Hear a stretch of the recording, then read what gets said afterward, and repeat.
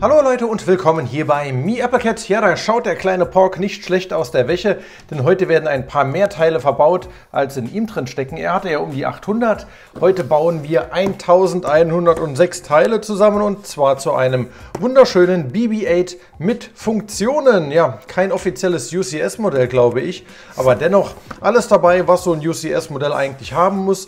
Und das heißt, wir haben hier eine, ja, eine Plate, eine Platte dabei mit Spezifikationen drauf und einen Ständer, wo dann unser BB-8 hier drauf kommt. Und wir sehen hier schon so ein paar Funktionen. Hier kann eine Klappe aufgehen, da kommt was raus, da kommt der Schweißbrenner raus. Ihr wisst noch aus der Szene, wo er den Daumen hoch gezeigt hat, habe ich euch eben schon gezeigt, glaube ich.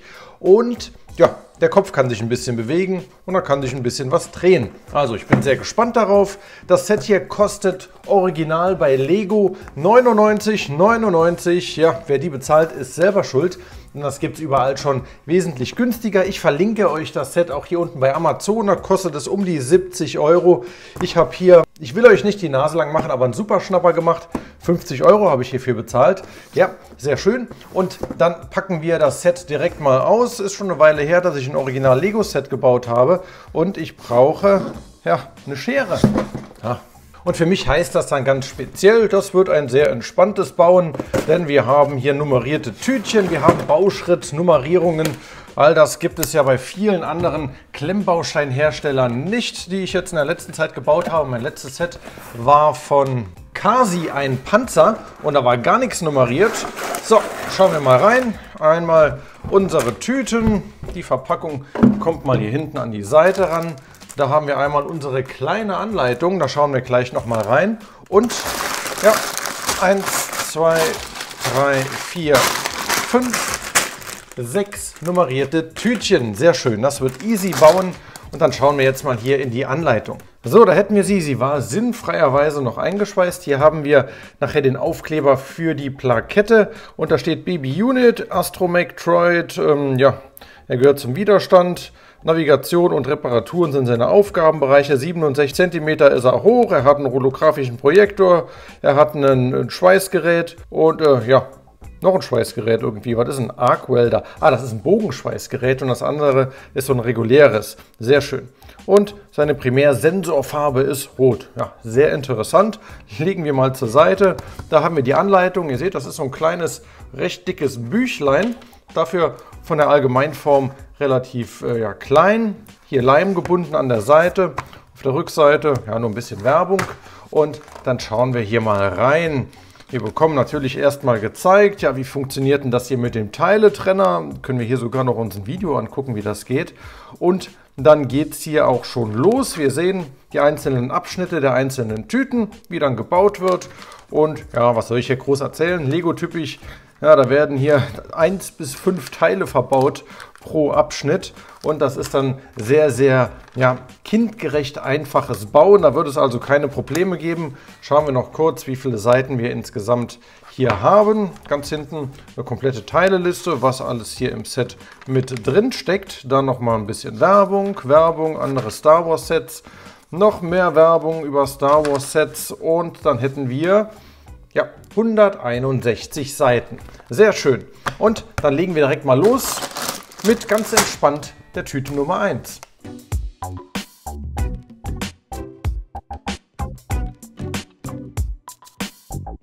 Nach entspannten 26 Seiten ist Bauabschnitt Nummer 1 oder Tüte Nummer 1 auch schon fertig. Hier vorne steht das Ergebnis und ich war sogar so tiefenentspannt, Freunde. Ich habe improvisiert und äh, ja, ein bisschen anders gebaut, aber nicht wirklich tragisch. Nur hier von den Farben habe ich ein bisschen was grau und weiß mal gemischt. Das sieht man später nicht.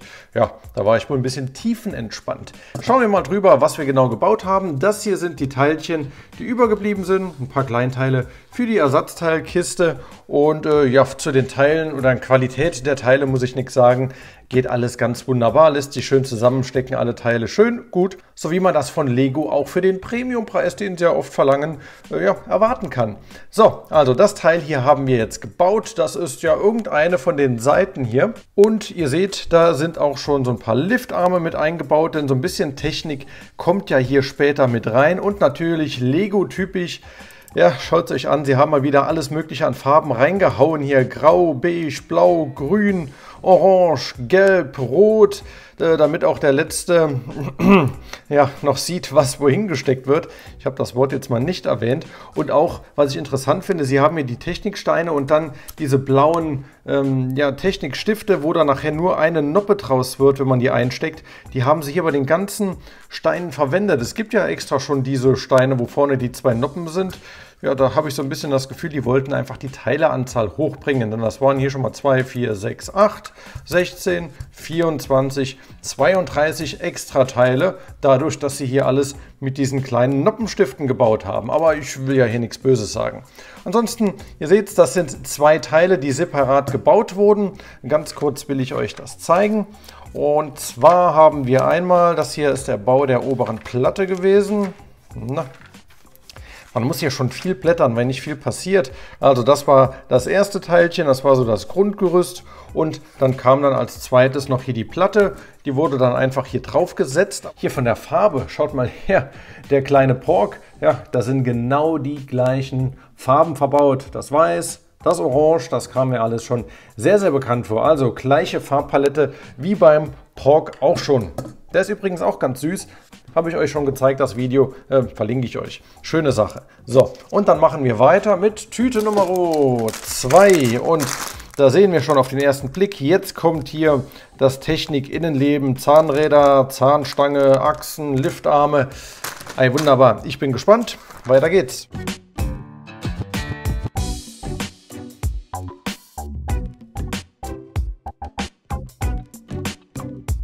Kein Häufchen Elend, ein Häufchen Steinchen. Ja, die sind übrig geblieben. Und so sieht jetzt hier unser Ergebnis aus von Bauabschnitt Nummer 2. Technik, Technik, Technikteilchen. Und äh, das kommt dann hier an unser Teil, das wir im ersten Bauabschnitt gebaut haben, gleich nochmal dran. Das machen wir hier zusammen. Aber zuerst wollte ich euch nochmal kurz hier einen Einblick gewähren, bevor hier alles ja quasi zugebaut wird. Also ich kann hier einmal drehen, dann wird hier unten diese Zahnstange dann bewegt. Kann man hier auch nochmal schön sehen. Ja, das läuft dann hier über die Zahnräder rüber und dann wird hier seine ja, Schweißerflamme dann später so ausgefahren. Also so wird sie reingefahren, klappt rein und so wird sie dann später rausgefahren. Da haben wir schon mal diese eine Funktion hier drin.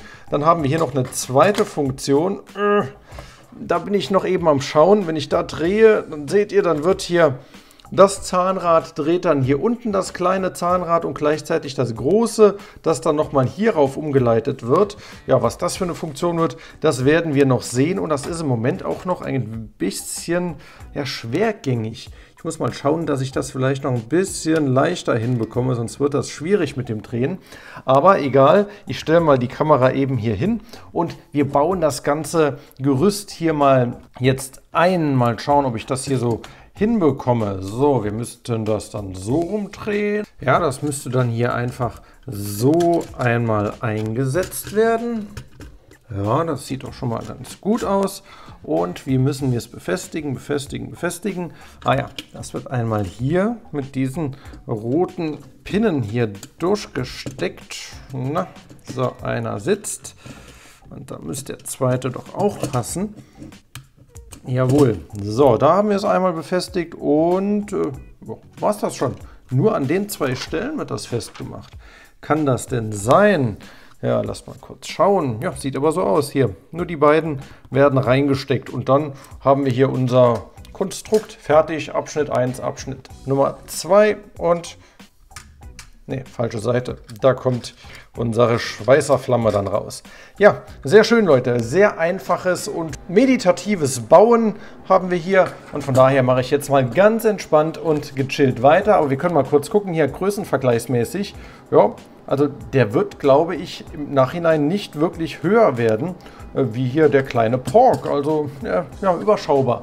Er wird überschaubar werden. Hier die Teilchen mache ich mal noch rüber zu den anderen Ersatzteilen.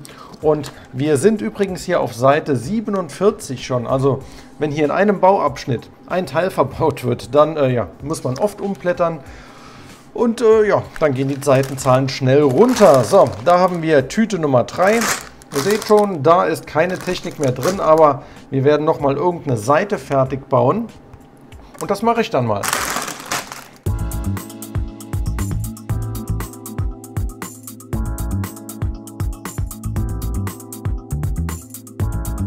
Das ging schnell. Tüte 3 ist schon Geschichte. Hier liegt schon der Deckel, der hier nachher oben drauf kommt. Also eine Seite von BB-8.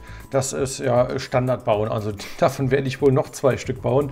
Das ist immer das gleiche. Eins, zwei, drei, vier Teile verbunden, ein paar Platten drüber setzen und fertig ist das Ganze. Und was wir noch gemacht haben, ja, wir haben hier drin ein Verhüterli gebaut beziehungsweise auch schon hier das Teil aufgesetzt und äh, befestigt und dann hier ja ein Gummi drüber gezogen. Also wir haben hier diese ja, Kupplungsstücke, würde ich die mal nennen. Und da kommt dann hier dieses Gummi drum, das hier übrigens so verpackt war. Ich habe mich da schon gewundert, was da wohl sein oder drin sein könnte. Jetzt wissen wir es. Es war ein Gummi und ja, was der jetzt genau für eine Funktion hier hat, äh, das äh, erschließt sich mir noch nicht so ganz. Auf jeden Fall erhält hier das Mittelteil ein bisschen ja, in der Mitte. Also so sieht es auf jeden Fall aus. Ich setze jetzt hier nochmal live das Plattenteil hier oben drauf. Mal kurz überlegen, ob das eine Rolle spielt. Wie rum und äh, ja, so rum. Ne, so rum ist es drauf. So, und das wird dann einfach nur hier einmal aufgesetzt, in die Noppen reingedrückt. So und so. Und hier und hier nochmal ein bisschen festdrücken. Und dann haben wir hier ja schon eine ganze, eine ganze Portion. Also zwei von vier Seiten sind fertig. So sieht das Ganze hier aus, wenn man da mal rumguckt. Interessant, oder? Ja, doch, sieht ganz interessant aus. Und oh, hier ist schon wieder was rausgerollt. So, nochmal der kurze Größenvergleich. Ich stelle mal hochkant, dann seht ihr, wie groß der Kollege hier geworden ist. Und wir machen dann auch direkt weiter auf Seite 70 mit Tüte Nummer ja, 4. Und da sieht man schon, da ist wieder ein Seitenteil, was hier hauptsächlich wohl angebaut wird.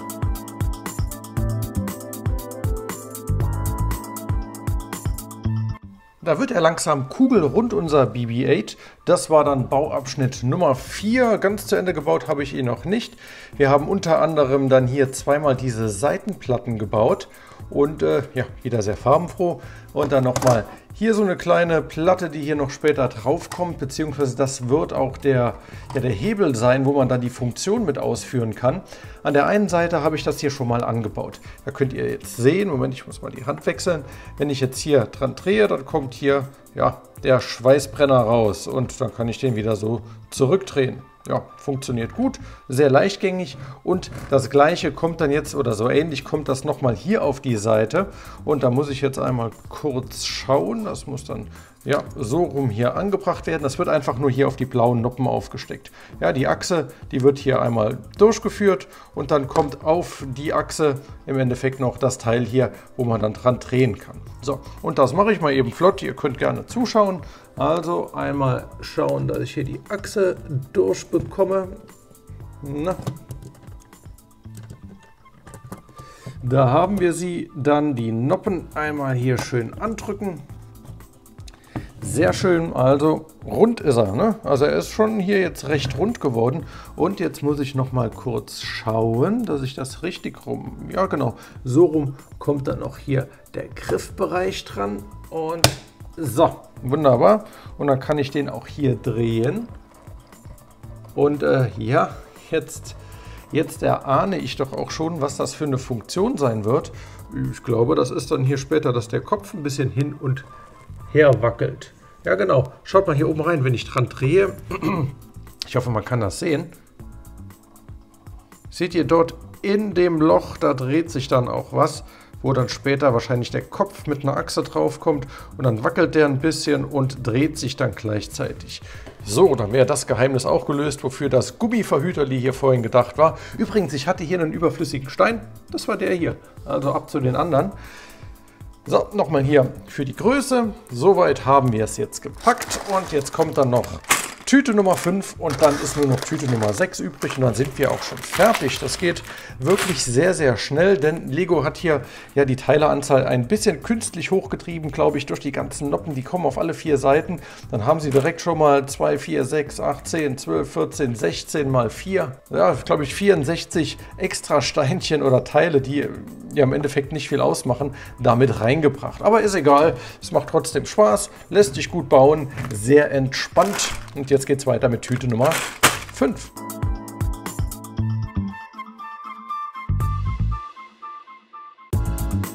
Klappe zu, Droide fertig. Naja, noch nicht ganz, aber ihr seht schon, hier, ja, da fehlt nicht mehr viel.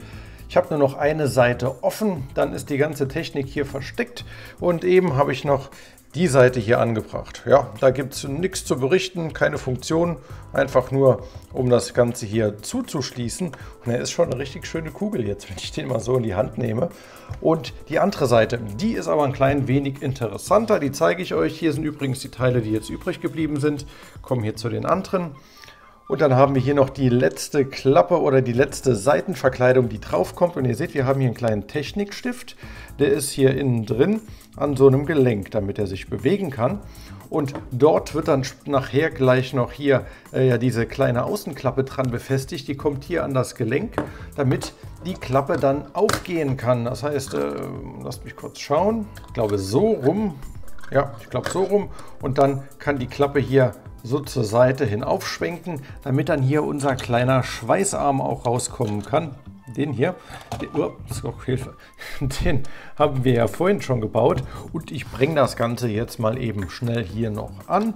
Und äh, ja, ist immer ganz standardmäßig. Erstmal hier auf die Noppen aufstecken, darauf achten, dass hier der rote Pin auf der linken Seite ist und dann stecken wir das mal hier drauf. Das funktioniert echt gut. Und der Kollege hier, na, der ist auch sehr stabil geworden. Das heißt, wenn der mal komplett fertig ist, kann man den also ganz hervorragend in die Hand nehmen und da passiert echt mal gar nichts dabei. So, wie rum stecke ich das denn jetzt hier drauf? Ich glaube, so rum, genau. Und dann kann ich hier die Klappe schließen und äh, wo ist er denn? Ups, dann kann hier unser kleiner Schweißarm rauskommen. Sehr schön. Leider geht die Klappe nicht mehr automatisch zu. Okay, schauen wir uns nachher, wenn er fertig ist, nochmal dann im Detail an. Und viel fehlt ja nicht mehr. Ich habe hier nur noch die Tüte Nummer 6. Das ist schon der letzte Bauabschnitt. Da kommt dann noch der Kopf dazu und der Standfuß. Und irgendwo steckt da noch der kleine Mini BB-8 drin. Das ist hier unten der Kollege. Und dann ist er schon fertig. Schade. Also schön, aber äh, schade. Ich bin immer ein bisschen traurig, wenn die Dinger so schnell fertig werden. So sieht er von unten aus. Das ist eine Standfläche. Und jetzt haben wir hier eine schöne Kugel. Ja, eine schöne Kugel gebaut. Aber da wird jetzt noch ein Astromechtroide draus oder ein Astromektroide. Hier nochmal die Größe, wie üblich. Ja, dann kommt hier noch der Kopf drauf und dann, ich würde sagen, die werden genau gleich groß, die Kollegen. Aber ich vergleiche den auch später nochmal mit dem R2D2 UCS Modell. Das ist ein ganz fantastischer Droide. Da gebe ich euch auch nochmal den Größenvergleich. Aber vor dem Vergleichen, ja, kommt hier noch der letzte Bauabschnitt.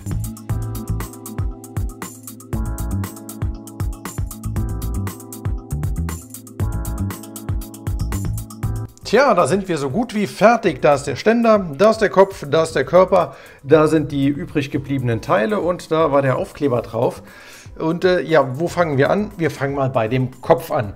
So sieht unser BB-8 Kopf aus. Vorne das große Auge, hier noch ein kleines äh, Sensorteilchen und äh, der ist ganz interessant gebaut. Ihr seht hier mit ein paar Transparentsteinen reingebaut. Da sind ganz interessante Techniken angewandt worden, damit man eben überall hier einigermaßen diese Rundung hinbekommt. Der ist natürlich trotzdem, ihr seht es hier, ziemlich eckig geraten.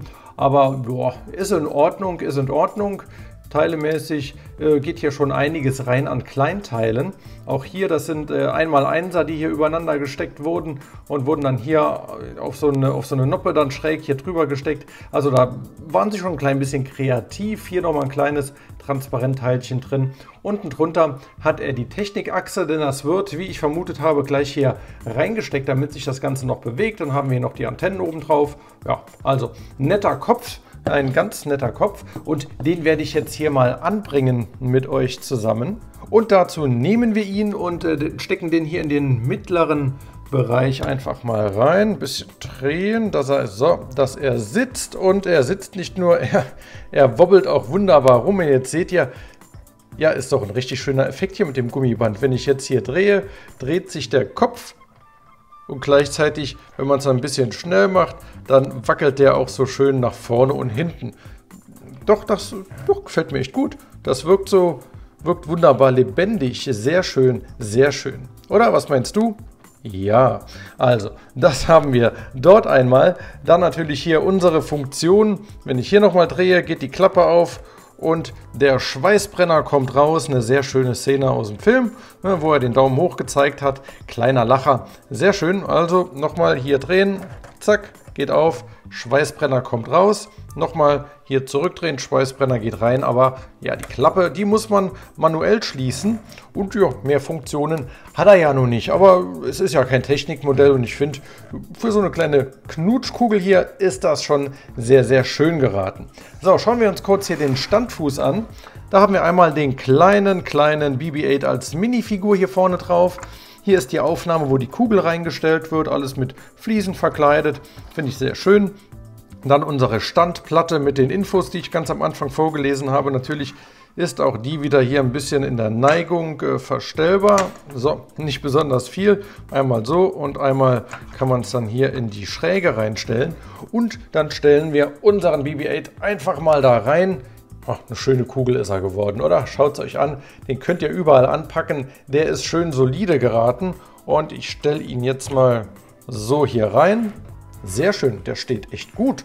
Und äh, schaut es euch an, Freunde.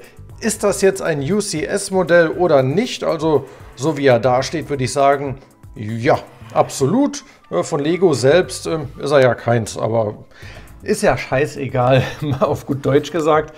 Ich stelle mal hier den Kollegen noch dazu. So sieht der Pork dann daneben aus und ihr seht, er ist mit Antenne ja ein klein bisschen höher wie der Pork, aber ohne Antenne geben die sich nicht viel. Also sehr, sehr ähnlich und ich gehe jetzt mal noch schnell den R2D2 dazu nehmen. Und da stehen sie, unsere drei Star Wars Kollegen, und ihr seht schon, der R2D2, ein echtes UCS-Modell, wobei das hier kein Original-Lego-Modell ist, sondern der ist von Lepin, also der Nachbau. Trotzdem ein super Set mit LED-Beleuchtung habe ich den sogar versehen. Ich habe das Video, ich verlinke es euch, ist alles in meiner Playlist drin. Der sieht mit LED-Beleuchtung richtig cool aus. Auch für ihn hier gibt es LED-Beleuchtung, aber ich finde, die sieht nach nichts aus. Also die passt hier einfach nicht so richtig rein, denn äh, da ist nicht so viel zum Beleuchten. Aber beim R2D2 sieht das echt cool aus. Der konnte ja auch hier seinen Kopf drehen und ist natürlich eine ganze Ecke größer. Der hat etwa doppelt so viele Teile wie der BB-8. Aber so vom Größenvergleich her, der ist ja auch ein bisschen kleiner, der BB-8. Und die kann man so richtig schön nebeneinander stellen. Also ich muss sagen, mir gefällt er echt gut. Macht einen schönen Eindruck hier, der BB-8. Der Bau hat Spaß gemacht. Der war auch so, kindereinfach gewesen, also da gab es keine Probleme. Sehr, sehr entspannter Bau. Den habe ich am Stück jetzt hier einfach mal durchgebaut an einem schönen Samstagnachmittag. Ja, wieso nicht? Kann man machen, Freunde. Ich verlinke euch das Set hier unten in der Videobeschreibung. Der kostet um die 70 Euro bei Amazon. Dafür kann man hier zuschlagen. 100 Euro UVP würde ich sagen, das ist einfach etwas zu teuer. So, das wäre es gewesen, Freunde. Ich hoffe, ihr hattet Spaß an dem Video, genauso wie ich hier beim Bauen. Und wir sehen uns beim nächsten Mal hier bei Me Apple Cat. Macht's gut!